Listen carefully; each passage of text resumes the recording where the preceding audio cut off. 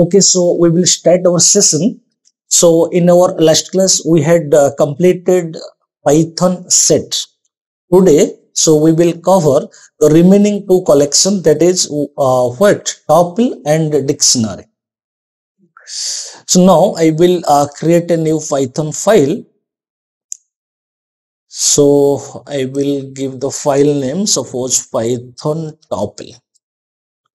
I will click on rename option. So tuple, Python tuple. Okay, so what is tuple? So it is another collection in Python. So the concept of list, the concept of tuple, it is completely same.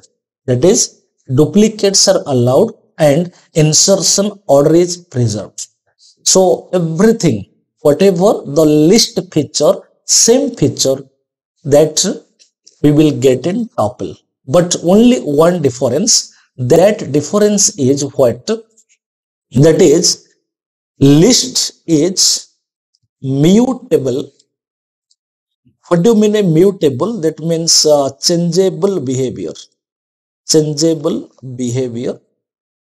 Whereas but tuple is immutable immutable. That means non-changeable non-changeable behavior.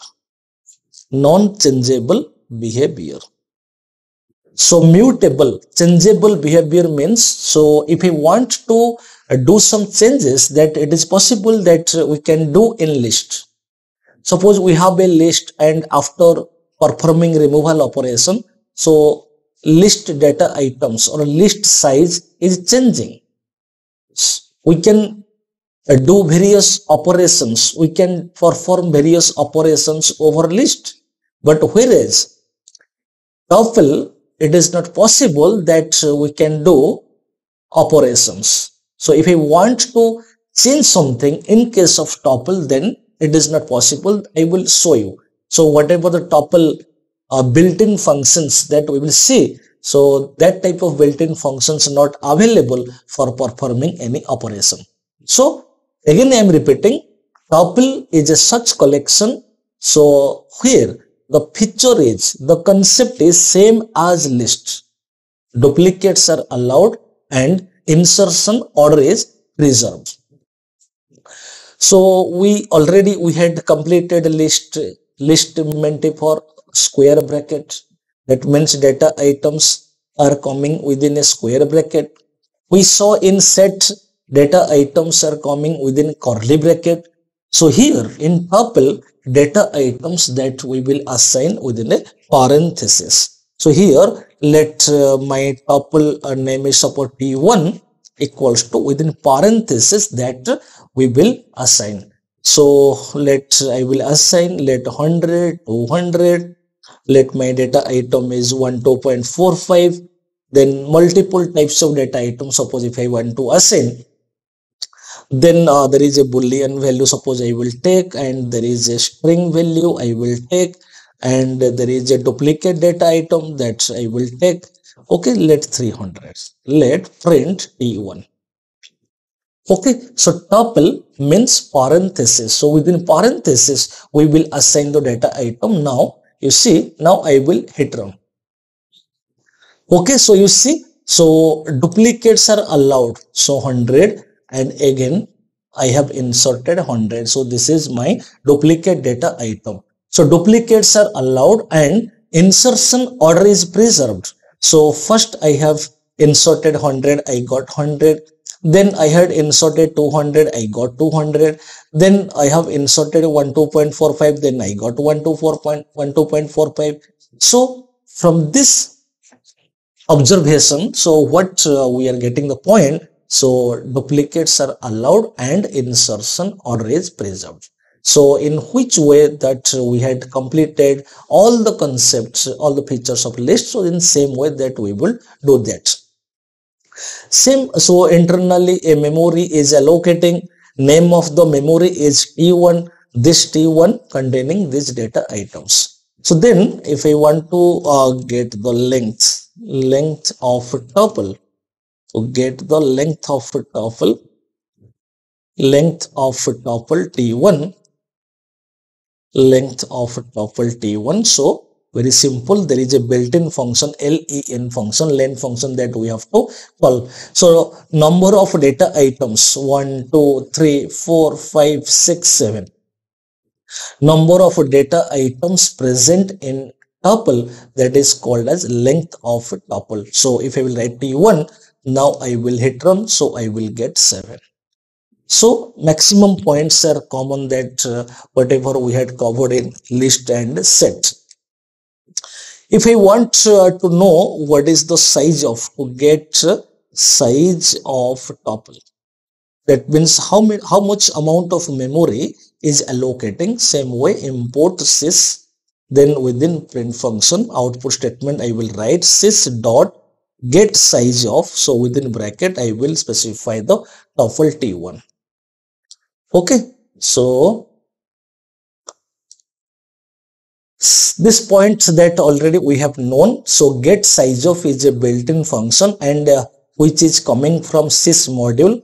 So that's why I uh, wrote sys dot get size of function. So uh, that's why. So get size what i am getting? So what is the or how much amount of memory is reserving for t1 you see now i will hit run so i got 96 so that means 96 bytes of memory is allocating and the name of the memory is t1 then uh, same way so here uh, like list so index is generating this is zeroth index data item this is one index data item and this is two index this is three index this is four index this is five index and this is sixth index. Similarly if i will what specify the index value in backward way so that part already i have completed.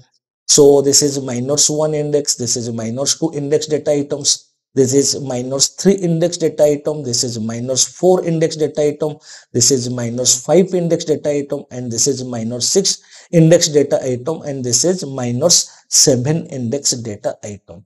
So if i want to if i want to what access individual individual data items so so the index value that I will access T1 of 0, I will hit run. So I got 100. T1 of minus 1, I will hit run. So I got 300. So by index value, so it is possible that we can access individual data items. Then uh, we will go to the next point. I want to retrieve all data items I want to retrieve all data items from tuple T1. So already uh, this part also we have known in list in which way that we had retrieved from list in same way that we can retrieve all the data items from tuple T1. So using for loop. So for x in T1 I will print x. So the meaning is for each value of t1 in x, I will print x. Print x is the loop body that already I have explained in a list and a set. So all data items one by one, suppose if I will see, you see first if I will, so I will bring t1 data items. You see, first the data item 100 will come to x. So when a data item is assigning into loop variable, then loop body will execute. This is the for loop mechanism. Then after executing the body, the control will go to the next data item. So the next data item 200 will come to x. Again body will execute print x. The value of x will print that is 200 will print. So after executing the body again the control will go to the next data item that is 12.45.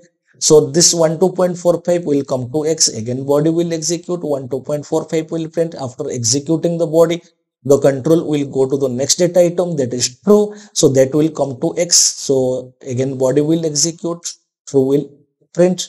After that the control will go to the next data item python that python will come to x again body will execute python will print after that the control will go to 100 again 100 will come to x again body will execute 100 will print After that, the control will go to the next data item 300. 300 will come to X. Again, the body will execute. So 300 will print.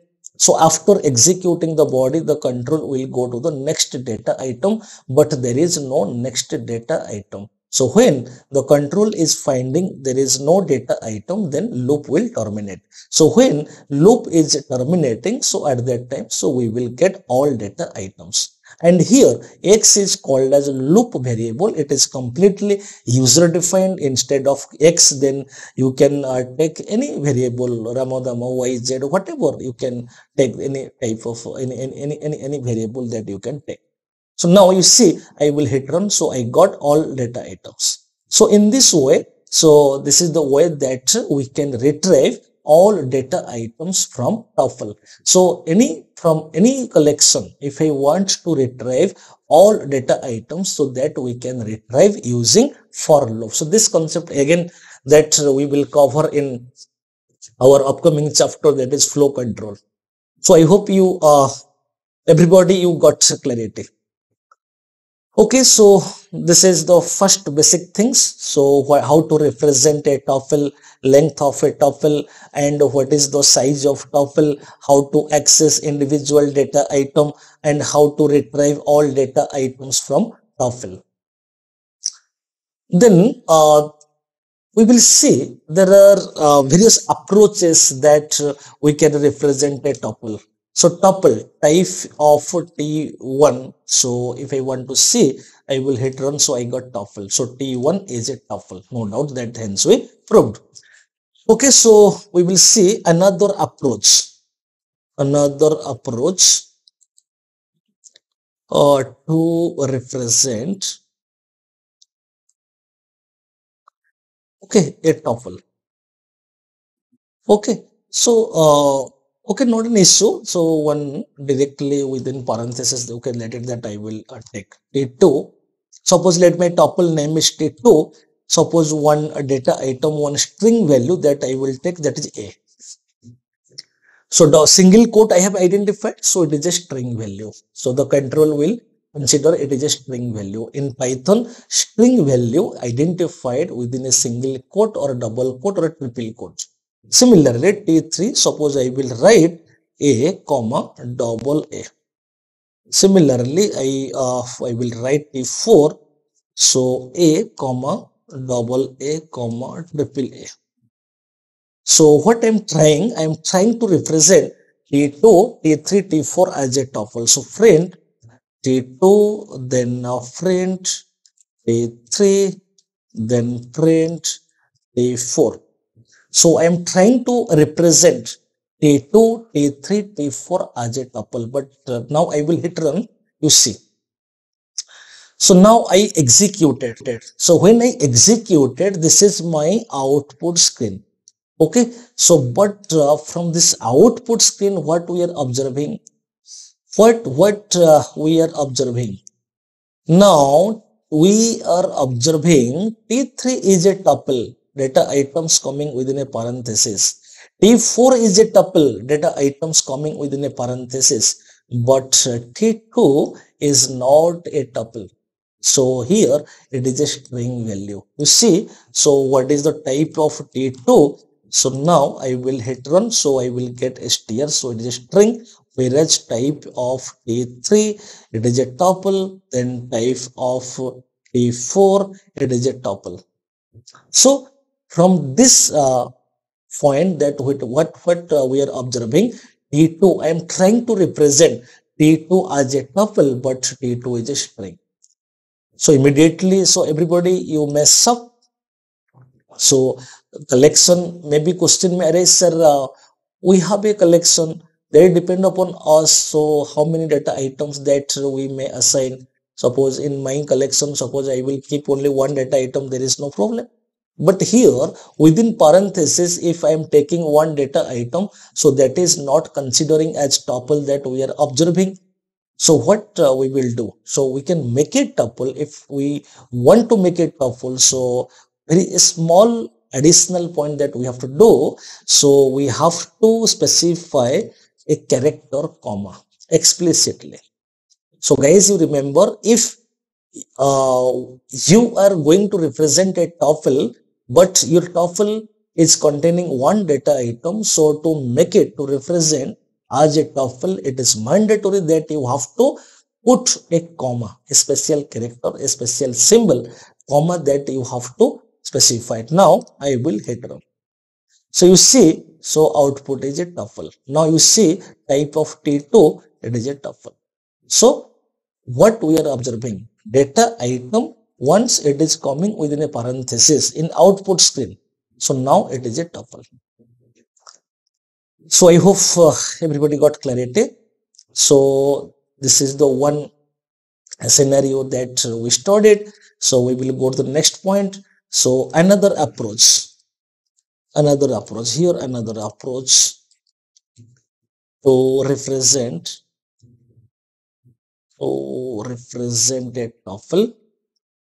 Suppose uh, let me tuple name is t5 equals to 1 comma here. Parenthesis I have just suppose I will not give I will not specify but currently uh, we know uh, we knew. So if we have one data item it is mandatory that we have to specify a special symbol that is comma for representing a tuple.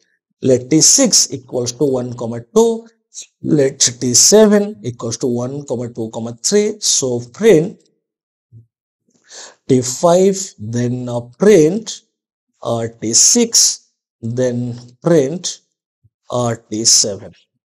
So I'm trying to uh, what represent T5, T6, T7 as a tuple. But here we are not specifying parenthesis. Okay, so we will say now I will hit run. So happily I got T5, T6, T7 as tuple data items coming within a parenthesis. So here T5, T6, T7 all are tuple. Okay, so it is optional. So when I am going to represent a tuple, so within parenthesis, whatever the data items that we are assigning, so that parenthesis specification that is optional from this uh, scenario that we observed. Okay, so I hope uh, everybody got clarity so then uh, we will move forward.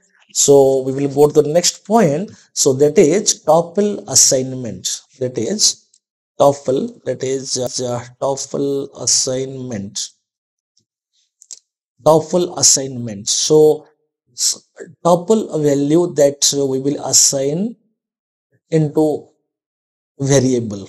Suppose let uh, we have some property let registration number name let branch name suppose.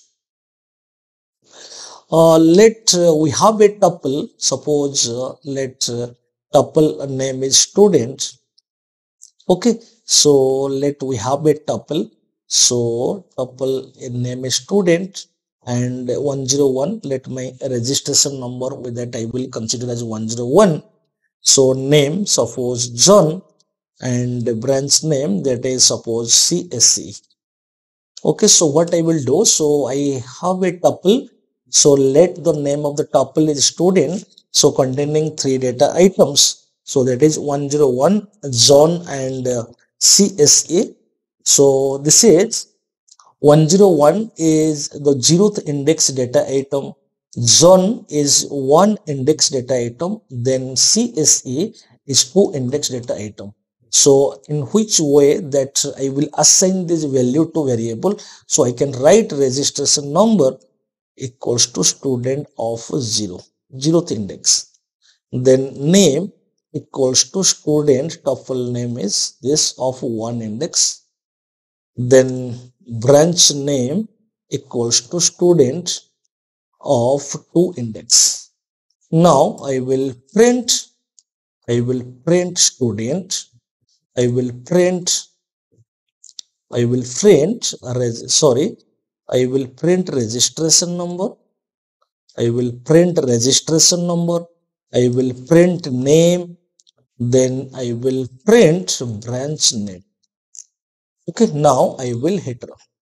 You see so I got 101 John CSE so this is called as what? Tuple assignment So whatever we have the tuple and the tuple containing values, so that values that we are assigning into corresponding variable. Okay, so this is zeroth index data item, one index data item, two index data item. So now right is always assigning into left. Student 0 means the value of student 0 101 is assigning into registration number. Student 1 means the value of student 1 that is John. So the value John assigning into name. Similarly, student of 2 the value of student of 2 is CSE. The value CSE is assigning to branch name. So this is all about the concept of tuple. And, and if I want to see uh, to get how many built-in functions, to get all uh, built-in functions in tuple, so same way that uh, which function that we have to call dir function, any tuple name that we will specify let here currently my latest tuple name is student now i will hit run. You see so all are on used built-in function only two function is used. One is count function one is index function okay so how many times data item is what uh, present index function is representing what is the index value of a data item but these two function not performing any operation. So for this reason, we can say tuple is immutable, non-changeable behavior because that for performing any operation, that type of used built-in function that is not available in tuple. So this is all about tuple.